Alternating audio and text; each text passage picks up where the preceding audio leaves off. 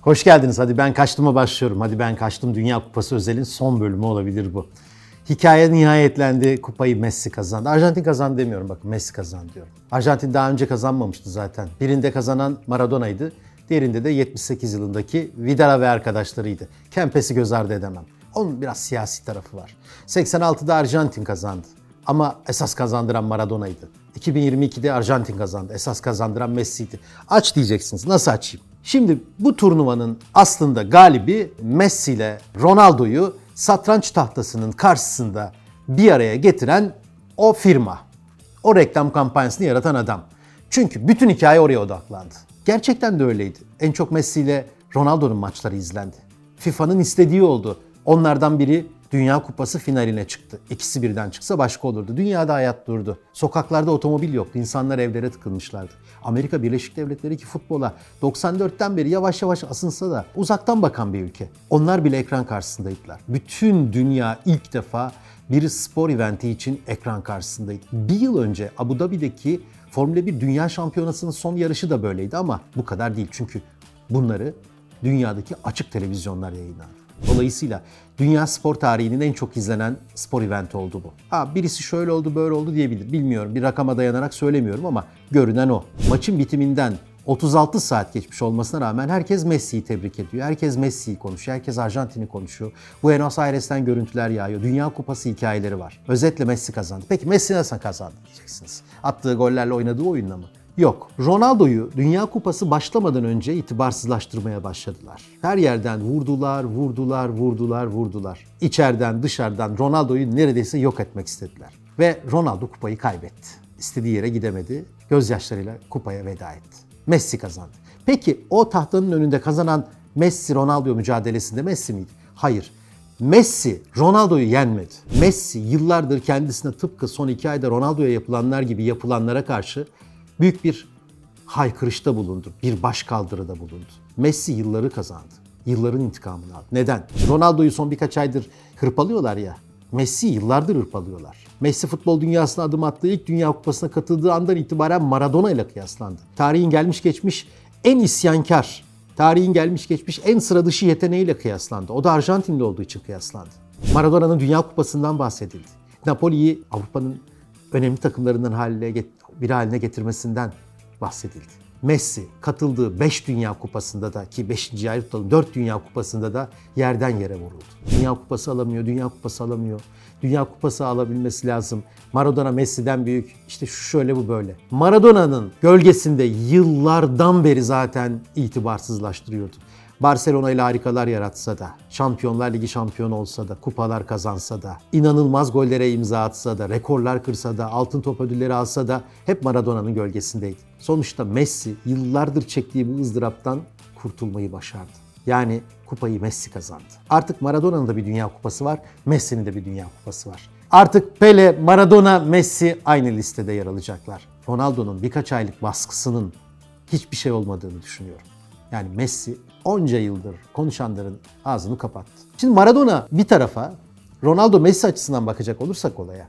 Ronaldo Real Madrid'de, Messi Barcelona'daydı. Bu dönemde Ronaldo yani Real Madrid daha çok kupa kazandı. Daha çok Avrupa'da sükse yaptı. Messi'nin çok fazla Şampiyonlar Ligi şampiyonluğu yok. Yani Maradona, hep Maradona diyorum, Ronaldo'yu da bir köşeye atamazsınız. Bu kupanın iki kazananı da odur kardeşim. Messi Ronaldo'yu yenmemiştir. Ronaldo da Avrupa şampiyonu oldu. Avrupa futbol şampiyonu oldu. Avrupa futbol şampiyonluğu Dünya Kupası şampiyonluğundan daha zayıf bir iş değildir. Belki de daha da zordur. Avrupalı takımların arasından. Üstelik Fransa'yı evinde yenerek şampiyon oldu. Özetle Ronaldoculuk, Messi'cilik hikayesine itirazım var. Messi dünyanın mutlu olmasını sağladı. İnsanlar pazartesi sabahına mutlu uyandılar. Dünya derin bir nefes aldı. Ekonomik sıkıntılar, hastalıklar, nükleer savaş korkuları, inanılmaz ırkçılık, milliyetçilik, hizipçilik tartışmaları, dünyayı kasıp kavururken enerji problemleri, kuraklıklar, iklim değişiklikleri, moral bozuklukları, keyifsizlik her şey varken derin bir oh çekti. Arjantin mutlu, dünya mutlu.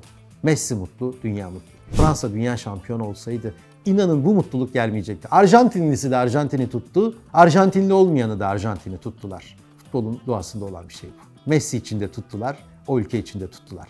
Paris ile Buenos Aires birbirine çok benzer. Doğu'nun ya da e, Batı'nın diyelim, Güney Amerika'nın Paris'idir Buenos Aires. Kültürleri de çok yaklaşık birbirine benzerler. Ama hani Arjantin'in, Arjantin'in futbolunun, nüfusunun, Arjantin yaklaşımının değerlendirilmesi gerekirken hani Fransa sömürgedir, onlar değildir, Fransızlar şöyledir, böyledir derken Arjantin'e de bakmak lazım. Aslında e, bu işin konusu siyasi e, tarihi ilgilendirir. Ben buraya girmiyorum. Bu Dünya Kupası'nın aklında ne kaldı? Şezni'nin oğlunun, Polonya kalecisinin oğlunun gözyaşları kaldı. Babası eğlendikten sonra ona ağlaması kaldı. Perisic'in oğlunun Neymar'ı ağlarken gidip onu teselli etmesi kaldı.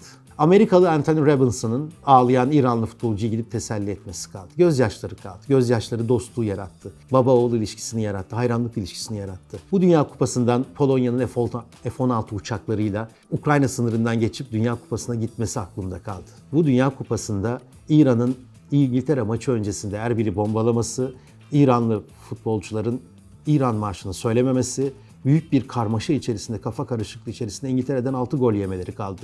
Çünkü İngiltere'den 6 gol yiyecek bir takım değillerdi. Bu Dünya Kupası'ndan Katar'ın galibiyeti aklımda kaldı. Neden? Katar iyi bir Dünya Kupası düzenledi. Kimse itiraz edemez buna. Çıtayı çok yukarıya çıkarttılar. Gerçekten çok modern statlar. Ve Dünya Kupası'nı çok dar bir alan içerisinde çok rahat bir şekilde izleyen şanslı azınlık vardı.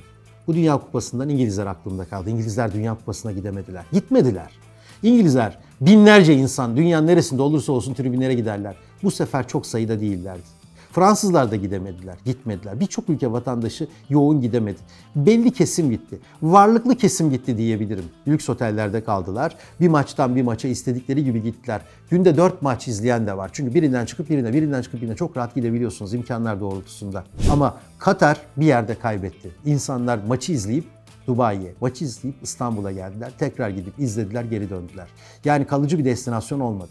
Ne var ki dünyaya kendilerini tanıttılar. Önümüzdeki 7 yıl Formula 1'e ev sahipliği yapacaklar. Diğer spor olaylarını da alacaklar. Büyük turnuvaları da yine ev sahipliği yapmak için kovalayacaklar.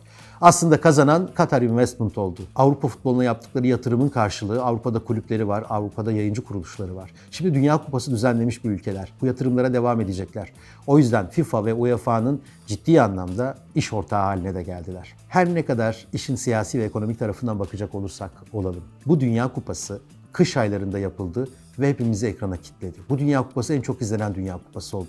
1990 İtalya televizyonun keşfidir ve 1990 İtalya ile birlikte İngiltere Premier Ligi gibi bir üst kimlik yaratılmış, Şampiyonlar Ligi gibi üst kimlik yaratılmıştır. Bu Dünya Kupası'nda da kupaların artık eskisi gibi olmayacağını gördük. Teknolojinin kupalarda çok kullanılacağını, futbola çok etki edeceğini gördük. Bu Dünya Kupası bize gösterdi ki FIFA kafasına koymuş. İki yılda bir Dünya Kupası yapacaklar. Biri yaz kupası, biri kış kupası olacak. Yani önümüzdeki dönemde Suudi Arabistan'da bir kış Dünya Kupası'na hazır olmamız gerektiğini gösterdi. Ve bu Dünya Kupası televizyonla ilgili şu gerçeği ortaya çıkardı. Televizyon artık canlı yayınlarla izleniyor. Spor eventleri izleniyor. Formula 1, MotoGP, Dünya Kupası futbol, Dünya Kupası basketbol. Dolayısıyla spor aktivitelerinin sayısı artacak. Çünkü nüfus da artıyor. Düşünsenize Fransa milli takımı buraya A, B, C, D diye 4 takımla gelseydi abartmıyorum 3 yarı finalist olabilirdi. İngiltere'de A, B, C, D diye gelseydi ikisi yarı finalist olabilirdi. O kadar çok sporcu var ki bu kadar çok sporcunun 4 yılda bir Dünya Kupası'na gitmesi haksızlık. Ha çok trafik mürafik falan söylemeyin hiç trafiğe e, kalmadan da gelebiliyorsun. Fransa takımının yarısı evdeydi. Yani e, maç trafiğinden dolayı oyuncular ne zaman nefes alacak durumu yok. Daha çok yıldızın yaratacağı gelecekteki günler bizi bekliyor. Rahatlıkla söyleyebiliriz. Hadi ben kaçtım da Dünya Kupası ile ilgili konuşmaya devam edeceğiz. Çünkü oradan çok şey öğrendik. Öğrendiklerimizi Türkiye Ligi'ne, Avrupa Liglerindeki gelişime odaklanarak bir anlamda gözlemleme şansımız olacak. Umarım ki hep söyledim bu bir ay boyunca Arda Güler veya Arda Güler gibi çıkacak genç bir yıldız çerçevesinde bir 2024-26 takımı yaratmak için kolları sıvamışızdır. Çünkü iyi bir takımınız olabilir ama taşıyacak bir yıldıza ihtiyacınız var. Messi'yi tebrik ediyorum. Diego Armando Maradona'ya selam olsun. Görüşmek dileğiyle, hoşçakalınız.